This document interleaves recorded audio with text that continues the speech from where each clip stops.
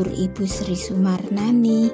Hari ini saya akan membuat sayur semur tahu, telur, dan kentang. Rasanya pasti enak.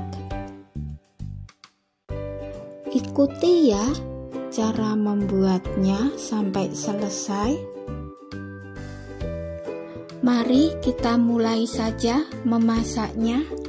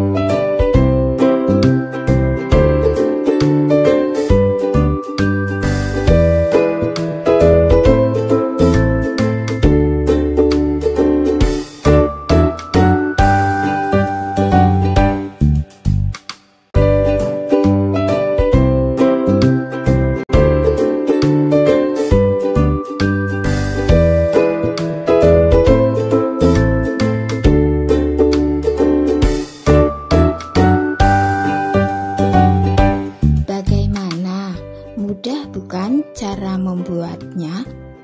Dan bagi para remaja putri yang baru belajar memasak, pasti bisa. Selamat mencoba, selamat memasak. Assalamualaikum.